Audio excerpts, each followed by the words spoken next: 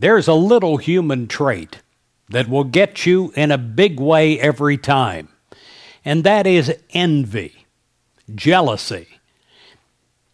You can't be envious and happy at the same time.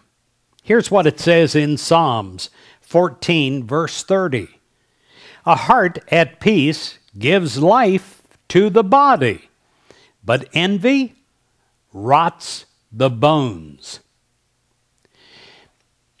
You are a recipient of God's grace, and you have every reason to celebrate life. After all, God has promised you the opportunity to receive God's abundance and God's joy. In fact, you have that opportunity to receive those gifts today, right now.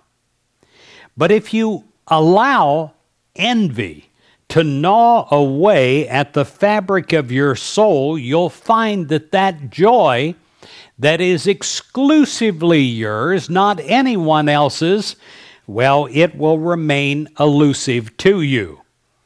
When you're envious of others, you unintentionally rob yourself of the comfort and peace that might otherwise be yours. And the key word here is yours. Theirs is not yours. Your joy, your gifts, will be uniquely special for you. So, do yourself an enormous favor. Rather than succumbing to envy, focus on the marvelous things that God has done for you and will do for you.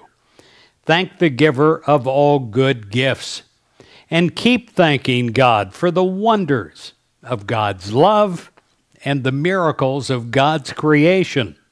Count your blessings and let your neighbors count theirs.